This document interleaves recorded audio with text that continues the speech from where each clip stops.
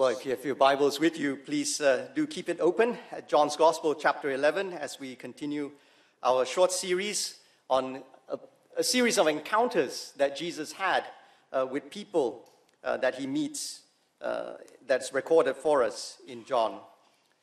Well, let's ask for God's help to understand his word afresh. Let's just pray. O Lord, our Heavenly Father, you are the Lord of light. Make pure our hearts that we may see you. Reveal yourself to us that we may love you. Strengthen our wills that we may choose the good from the evil, and day by day manifest in the world the glory and the power of your name and your gospel.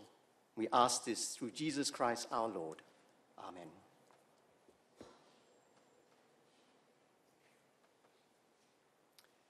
Angus Cloud, 25. Sinead O'Connor, 56. Tony Bennett, 96. Coco Lee, 48. What do these superstars have in common? Well, they all died in July. I wonder what went through your mind when you heard about their passing. Maybe you thought, well, wasted potential, or what an unexpected tragedy, or you might miss their talent, or they just had lived a good long life, isn't it? Or maybe you didn't think much about their deaths at all. After all, lots of people die every day, and unless it's someone close to us, we tend not to think about it. It's something that happens to someone else and not to us. And also tends to happen out of sight, isn't it? And what's out of sight also tends to be out of mind as well. And instead, we just occupy our minds with a thousand other things, uh, more immediate things. Maybe we occupy our mind with the state elections, or the stock market, or office gossip, or K drama, or football scores, or, or, and so on and so on. And it's precisely this, according to the French philosopher Blaise Pascal, he says that it's precisely this that's the greatest tragedy about death. In Pensées, a collection of his thoughts and observations, Pascal wrote this. He says, They fear, the people in general, they fear the most trifling things, foresee and feel them. The same man who spends so much, so many days and nights in fury and despair at losing some high office or at some imaginary affront to his honor is the very one who knows that he is going to lose everything through death, but feels neither anxiety nor emotion. Pascal goes on to write it's a monstrous thing to see the one and the same heart at once so sensitive to minor things, but so strangely insensitive to the greatest things. In other words, he's saying, look, isn't it human nature that we spend so much time to rage and to worry and to despair over what he calls trifling things, but don't spend much time to think or to feel about weightier things, like death. Death is a problem that looms large. It casts a large, huge shadow over our lives. Death is going to rob you, rob you of everything you've ever accomplished in life rob you of whatever that you have accumulated in life. And it will suck out the enjoyment of everything in life. Because the more you love something, the more pain and hurt you will feel when you lose it. And you will lose it all one day. And so, death is shouting from the rooftops daily about the reality of human life and yet, oftentimes, we've closed our ears and our eyes and our hearts to its cry. Do you know what Angus Cloud and Coco Lee and Tony Bennett and Sinead O'Connor's death is saying to us? We are not too important to die.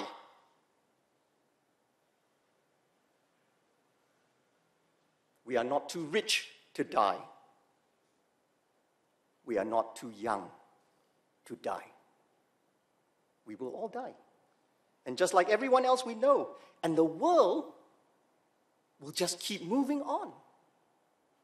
Just as it always has. Because there will be another Angus. There will be another Coco, there will be another Sinead, there will be another Tony to take their place because no one is indispensable, no one is irreplaceable, no one is forever. And it's only when we lean into this harsh truth this morning, when we listen intently to what death is saying to us, then we can appreciate, we can long for, we can recognize the magnitude, the relevance of what it is that Jesus is offering to us. And this is what Mary and Martha, the grieving sisters, will discover in their conversation today. Their beloved brother, Lazarus, has died, and we're going to hear Jesus speak into their sorrow, into their grief, and into ours as well. Well, we first look at verses 1 to 6, where John sets the scene, if you like, for this meeting. Jesus got word that his friend Lazarus was gravely ill. You see that in verse 1 back in Bethany, and his sisters had sent word in verse 3, sent word to Jesus for help. Now, what did Jesus do in response? Now, look down with me to verses 5 and 6. It says there, Now Jesus loved Martha and her sister and Lazarus. So, when he heard that Lazarus was sick, he stayed where he was two more days. Now, you think this, that doesn't sound right, doesn't it? Verse 5 says Jesus loved them, so you would expect that verse 6 would say, well, Jesus dropped everything. Jesus left immediately for Bethany uh, in order to help and heal his beloved friend. Because by now in John's narrative, we know that Jesus had already healed a paralytic, he'd already healed a man born blind, he's even miraculously fed 5,000 people in the wilderness. And all those people were mostly strangers. So it's not unreasonable, it's not implausible to expect Jesus to do more for his beloved friend, to restore Lazarus to good health straight away. And yet our text oddly doesn't say that. Instead, it says precisely because Jesus loved them that he delayed going. That's odd, isn't it? That deliberately, Jesus deliberately chose to delay two more days out of love Jesus waited until Lazarus was well and truly dead before he bothered to go to Bethany. And he knew he was dead because in verse 11 he says, Our friend Lazarus had fallen asleep. Now, why did he wait? Was it because he didn't care? Well, no. Verse 5 tells us he loved them. Was it because Jesus couldn't do it? or He had to somehow, you know, wait a while, recharge his powers, if you like? No. In John chapter 4, Jesus healed an official's child long distance, instantaneously, effortlessly, with just a word. He just told the official, Your son will live. And his son was healed, far away, mind you. But what we do know is this, as revealed in our text that God's delay is not incompatible with God's love. That God's delay is not incompatible with God's love. God delays answering our prayers. Our prayers for someone to be saved, our prayers for someone to love, our prayers for someone to be healed, for some debt to be paid. God delays answering our prayers, good prayers. He delays them because he has an even greater purpose in mind to fulfill in our lives today. God delays because while we might be asking Him again and again for a good thing, He actually wants to give us the best thing. And that's why He withholds that good thing for a season. He wants us to thirst for, long for, be receptive to receive something even better. And we're told he does this because of his great, committed, unwavering love for us. And what is it that he wants to give to us? Well, we're going to see in the next conversation. He actually wants to give to us himself. Now, before we move on to the conversation, think about this. Do you know this, friends? Maybe you too have been waiting. Waiting for a long time. To, uh, you pray and you pray and you pray, and, and yet you have yet to receive an answer. And maybe you begin to think to yourself, well, God's not real. Why does He not answer me? Maybe He doesn't care. Maybe He doesn't love me. Maybe I'm not good enough. Maybe I'm not trying hard enough. Well, the answer is no, no, no. It's all not true. The actually answer is actually here. Jesus loved Martha and her sister and Lazarus. So when he heard that Lazarus was sick, he stayed where he was two more days. You see, Jesus already knew how Lazarus' life story would end, even though Mary, Martha, Lazarus did not. He knew. In verse 4, you go back. He says, When he heard this, Jesus said, This sickness will not end in death. No, it is for the glory of God, so that God's Son may be glorified. So God delays not because he's trying to punish us for some vice or he's waiting to reward us for some undone virtue. In this case, he delays because of his great love for us. That he wants to give us what we truly need, because oftentimes we're not always wise, not always know what is the best thing that we should be asking for. And what we need more than anything else, according to Jesus, is to see his glory so that we may believe in him. That's what he says in verses 14 to 15. When he told, spoke to his disciples, he says, he told them plainly, Lazarus is dead, and for your sake I'm glad I was not there. Why? So that you may believe.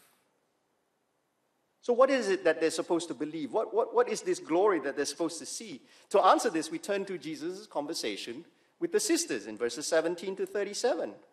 Now, at, at the very beginning, in verse 17, we're told that Lazarus has already been in the tomb for four days when Jesus arrived. Now, why this particular detail?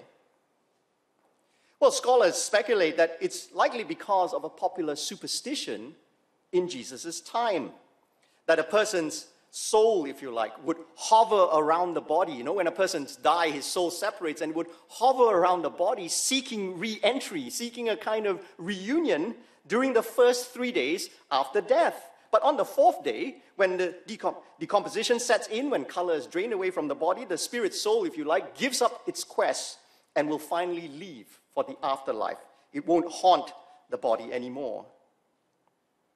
And so that's the significance of the four days. In other words, the soul has finally left. This is not going to be a resuscitation. This is not even going to be a healing, a restoring someone to their health. This is unequivocally unmistakably, absolutely the point of no return dead.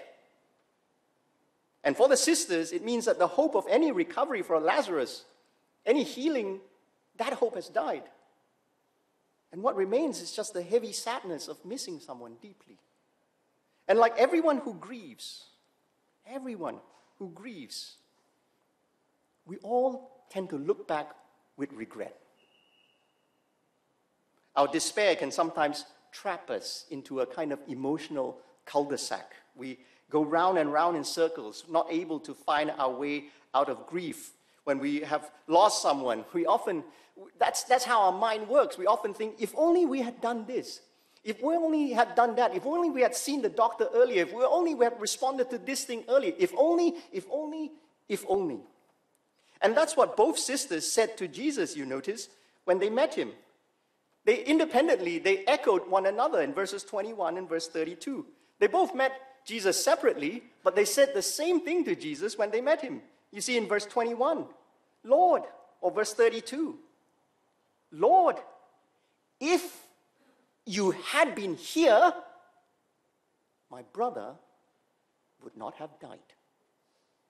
If only, Jesus, if only you had answered our call earlier, if only you had answered our prayer, if only you had responded earlier, things would be different. It won't be this tragic end. But now, Jesus, you're too late. It can't be fixed. We have lost what we love forever.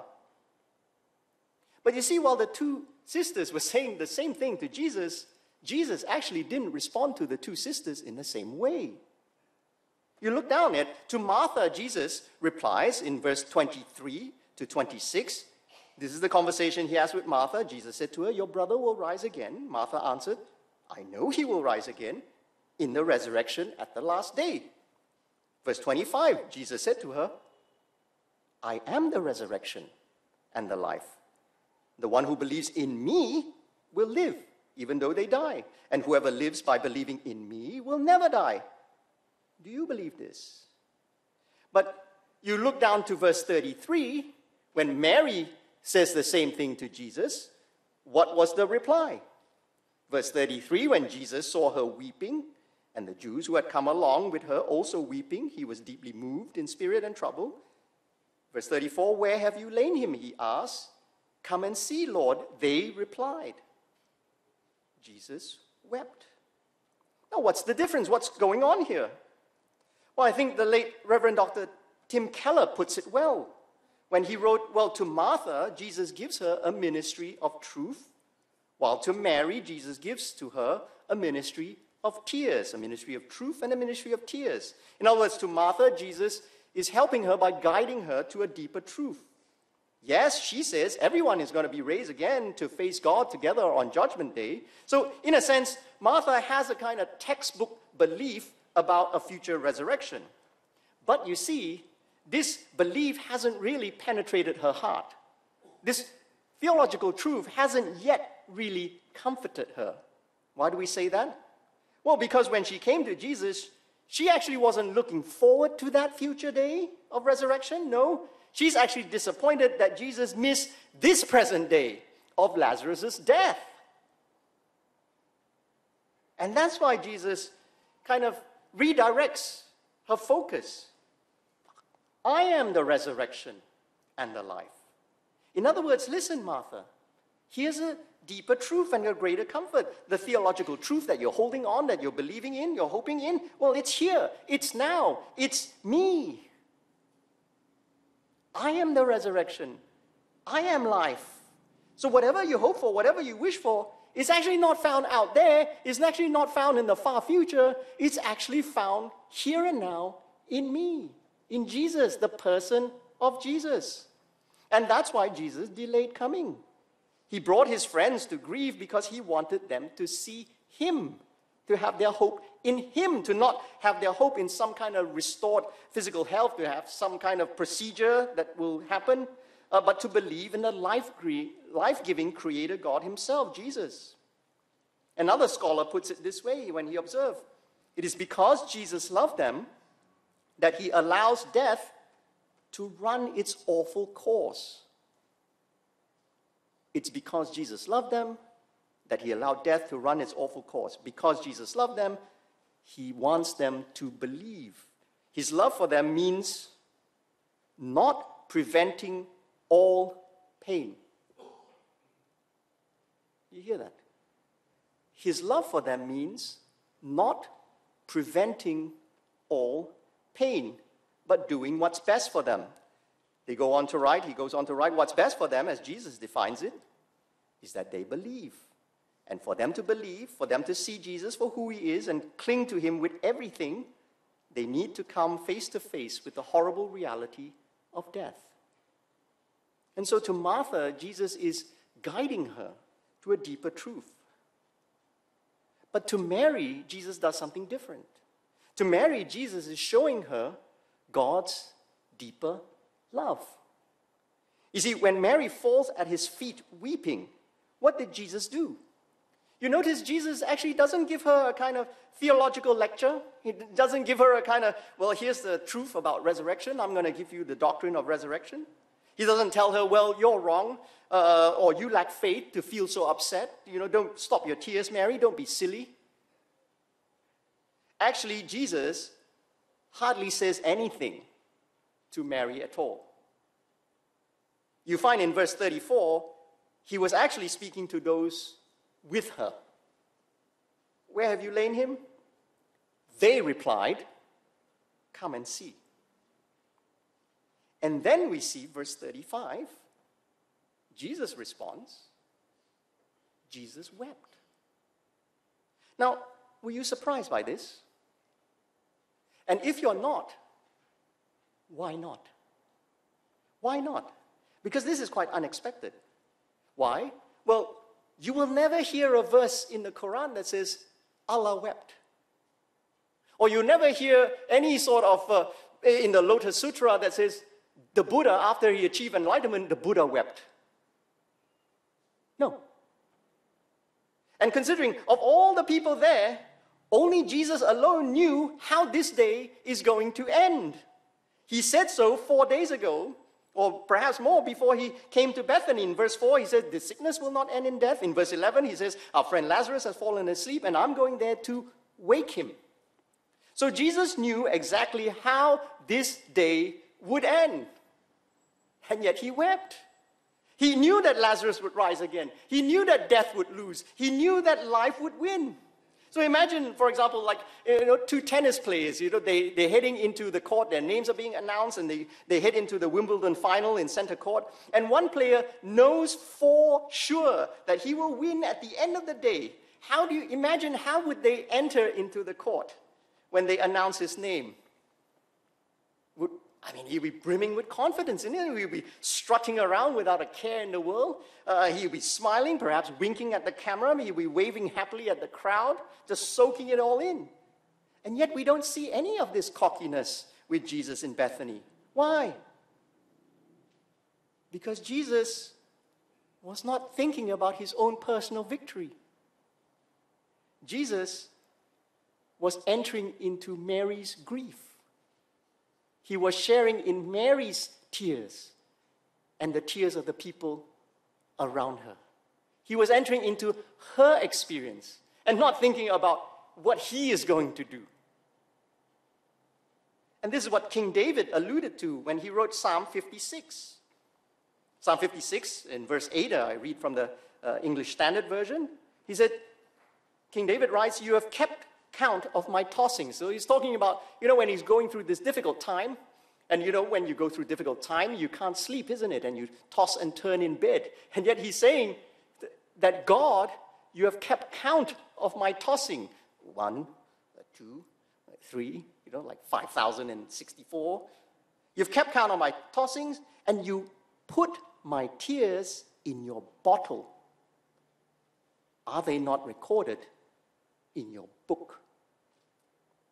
Now that's amazing.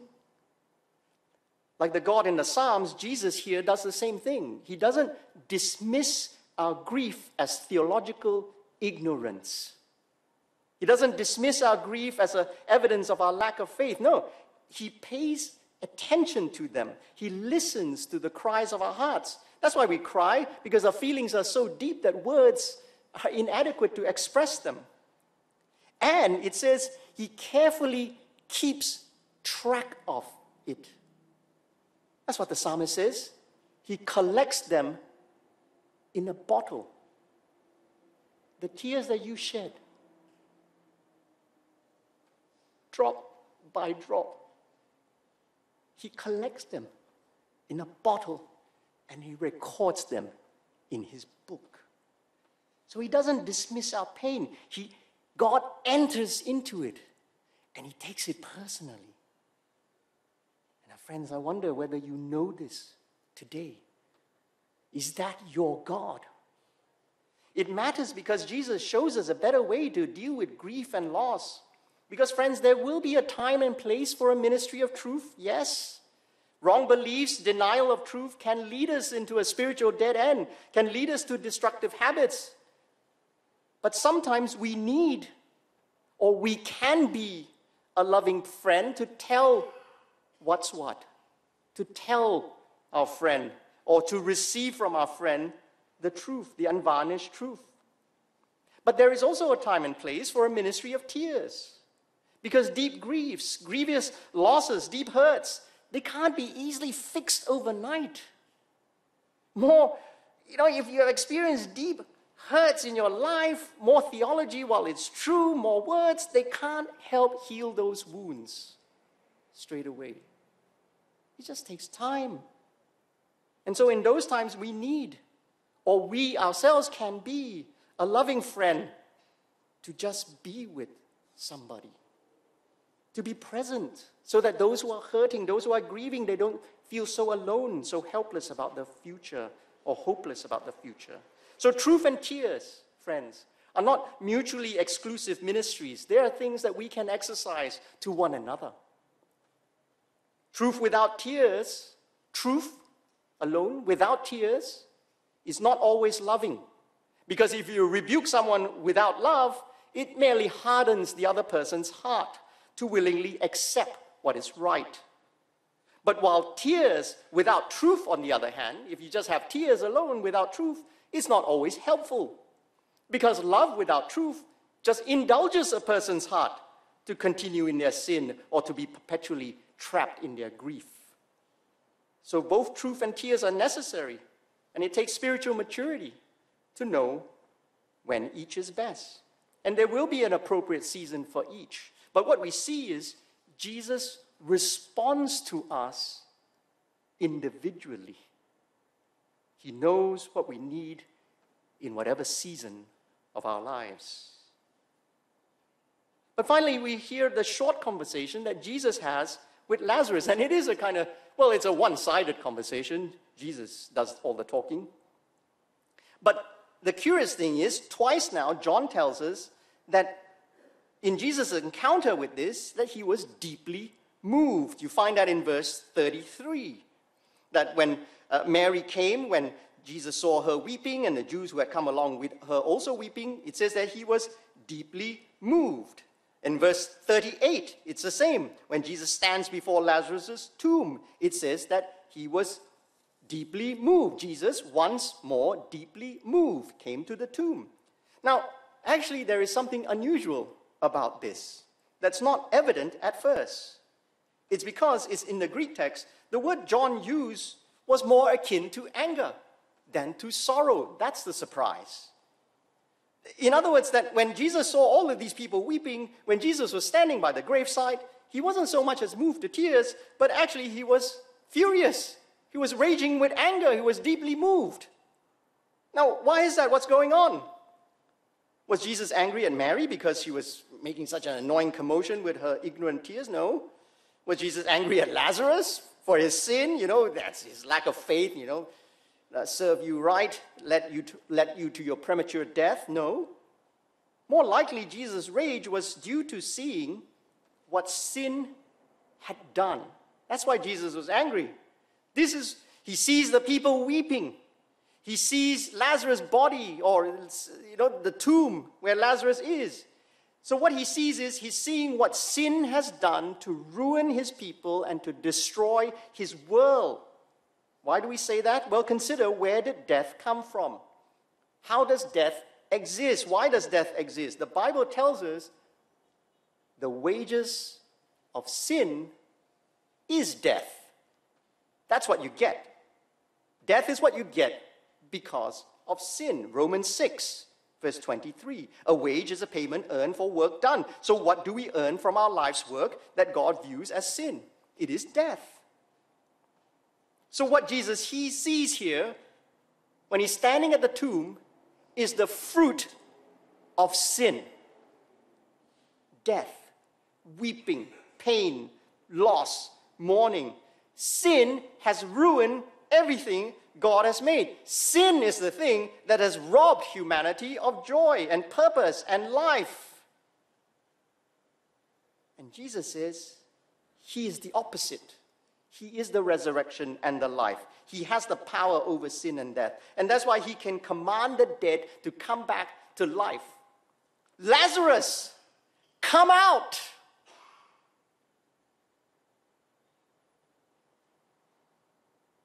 And we're going to hear Jesus say that to us too.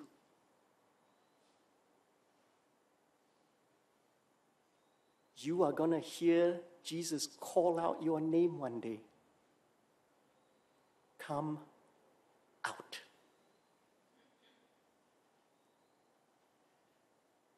And Jesus did this so that everyone can see his power and glory and believe in him. Now, one more thing, one final thing about Lazarus. I just wonder. When Jesus told Martha, for example, that he is the resurrection and the life, Jesus made clear, actually, that he meant today, not some future day. That's what Martha assumed. is going to be some future day forward. Uh, but Jesus is actually saying, no, no, it's going to be today. I am the resurrection. I am here. I am now. I am life. I am resurrection. And the raising of Lazarus proved that point. Lazarus doesn't need to wait for some future judgment day for resurrection. That day begins the day that Jesus came. Now consider for a moment this. Imagine for a moment this. How might Lazarus live out the rest of his new risen life. Yes, he's going to die again because he's still awaiting a future eternal resurrection in the new heavens, new earth. But in the meantime, if you were Lazarus and you were raised from the dead, how would you live out the rest of your natural life? Would it still be, you do you think that you still be the same old, same old Lazarus? Do you think you still go through life with the same fears, with the same sinful habits, with the same temperament, even? Or would literally coming back from the dead change you? I would wager, because we're not told, but I would wager that the risen Lazarus would be different, isn't it? Because, for one, the risen Lazarus, the resurrected Lazarus, would have far less fear about death. Isn't it? Been there, done that. Far less fear about what other people might do to him. Because that's the threat of death. That's often the big threat. He might probably have more hope as he goes through the ups and downs in life because he knows that there's a great reversal that's going to come. He'll probably have even greater boldness in his witness for Jesus. He has experienced, has seen the glory of God. He probably also, I'm guessing, he also would have less despair about loss and about aging. He'll have less despair about that. I'm having some despair, but he will have less despair. You know, because he knows what it's like to come back from the dead. So I imagine that Lazarus will grow old quite gracefully. I imagine that Lazarus will embrace aging with all of its aches and pains. And he will enter into it more fully with hope rather than desperately clinging on to kicking and screaming at his diminishing youth. Don't you think so? Lazarus will literally embody what the Apostle Paul wrote in 2 Corinthians chapter 4 when he's talking about, you know, the, when he's talking about loss and, and, and upcoming death. He says, therefore, even though, you know, your outer body is wasting away, in 2 Corinthians 4 verse 16, he says, therefore, we do not lose heart. Though outwardly we are wasting away, yet inwardly we are being renewed day by day. For our light and momentary troubles are achieving for us an eternal glory that far outweighs them all. So Paul says, 2 Corinthians 4:18, so we fix our eyes on what not on what is seen, but on what is unseen, since what is seen is temporary, but what is unseen is eternal. And this is what I think truly believing in the resurrection life will look like. I have to remind myself that in my aches and pains. As Jesus said to Martha, I am the resurrection and the life. The one who believes in me will live even though they die. And whoever lives by believing in me will never die. Friends, do you believe that Jesus is the resurrection and the life? Do you believe that this life begins today and not some future far off day? And what will this belief look like in your life? How will you live this life differently, believing in the risen Christ?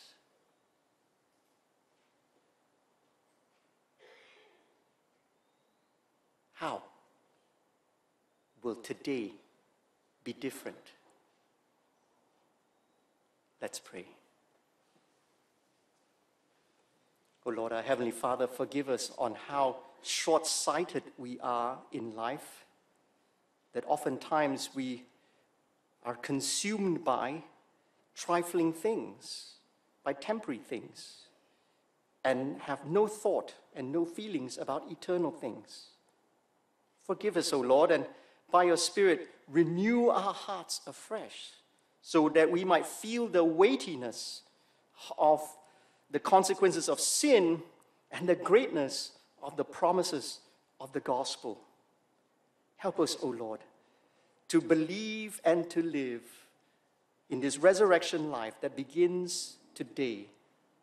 That even though all who believes in you will die in this life, but we will be raised again. And that begins not in some far off future, but in today. Strengthen us, we pray, by your Spirit, through your word. Enable us to hear your truths. Encourage us by your people that we might live this life and embrace it more fully, day by day, beginning today. We ask and pray this in Jesus' name. Amen.